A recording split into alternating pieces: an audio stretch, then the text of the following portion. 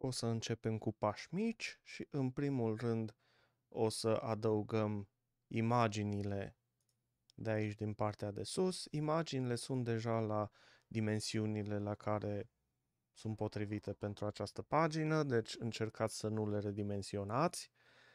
Um, prima imagine este ultima din listă în ordine alfabetic, cea cu vaca și a doua imagine, cea cu utilaje agricole, este cea cu glorie.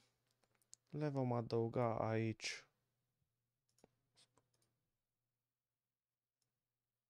începând cu un rând sub primul rând care, pe care îl vedem în structură și exact la marginea din stânga imaginea cu vacile. Dau pur și simplu un click să vină la dimensiunea la care e nevoie.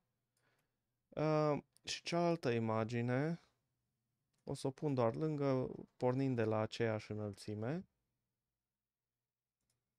Dau un click. Dacă nu le-ați pus exact unde trebuie, puteți să le mutați. Oricum, asta va trebui mutată în așa fel încât să se alinieze cu marginea din dreapta a primei coloane de pe a doua pagină.